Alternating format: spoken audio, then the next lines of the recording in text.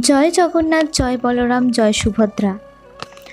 রথযাত্রা বা রথ দ্বিতীয়া একটি আষাঢ় মাসে আয়োজিত অন্যতম প্রধান হিন্দু উৎসব।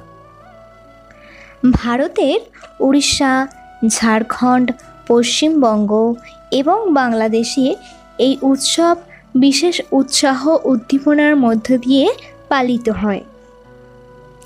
এছাড়া ইস্কনের ব্যাপক প্রচারের জন্য এখন এটি বিশ্বব্যাপী অনুষ্ঠিত হয়। আগামী আটই আষাঢ় চোদ্দোশো তিরিশ বঙ্গাব্দ এবং দুই হাজার তেইশ সালের বিশে জুন এই বছরের রথযাত্রা অনুষ্ঠিত হবে। দীর্ঘ বিচ্ছেদের পর কৃষ্ণের বৃন্দাবন প্রত্যাবর্তনের স্মরণে এই উৎসব আয়োজিত হয়ে থাকে। ভারতের সর্বাধিক প্রসিদ্ধ রস- রথযাত্রা ওড়িশার পুরী শহরের জগন্নাথ মন্দিরের রথযাত্রা।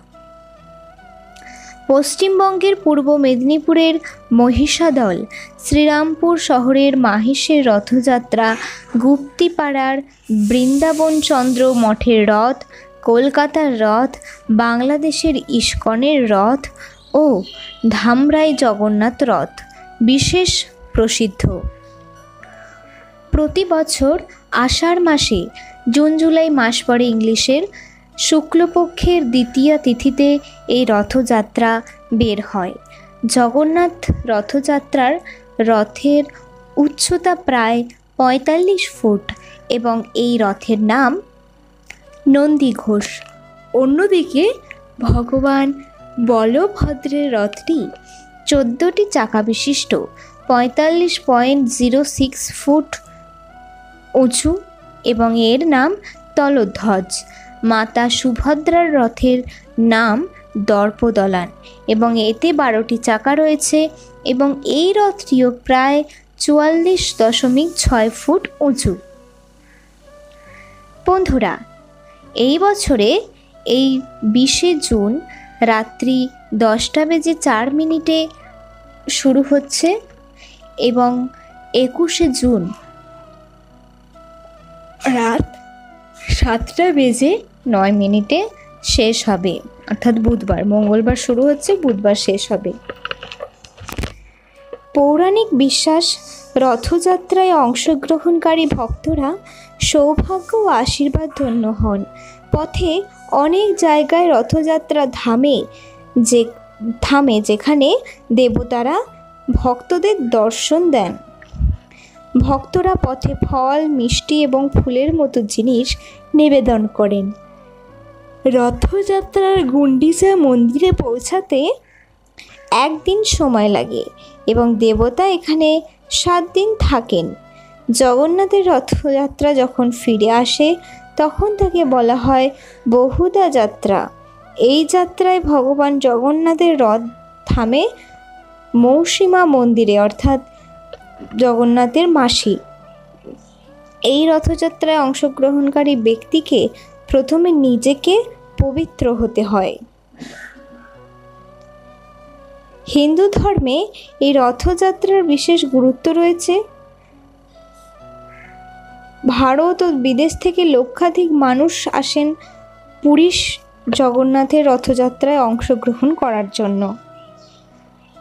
এবং রথযাত্রার সময় জগন্নাথ, সুভদ্রা, বলরাম এনাদের মূর্তি জগন্নাথ মন্দির থেকে বের করে তিনটি বিশাল রথে স্থাপন করা হয়।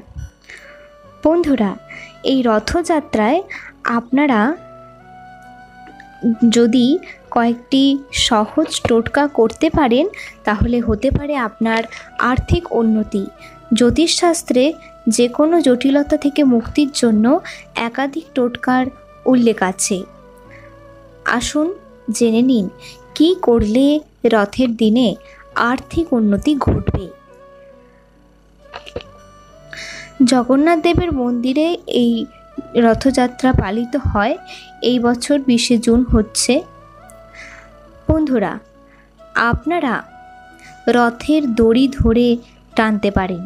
অন্তত একবার রথের দড়ি স্পর্শ অবশ্যই করবেন। এটি ভক্তদের কাছে অত্যন্তই পুণ্যের বিষয়।